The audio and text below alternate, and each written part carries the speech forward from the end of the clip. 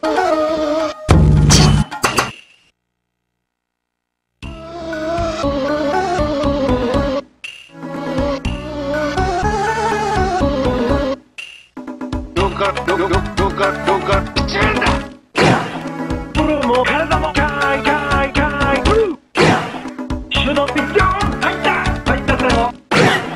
ッションパッション活用もわかるなら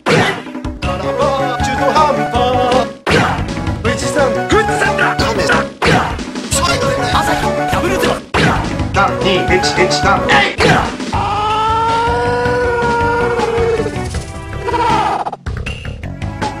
仕事、恋愛、意味がなきゃいけないと思ってんじゃねえか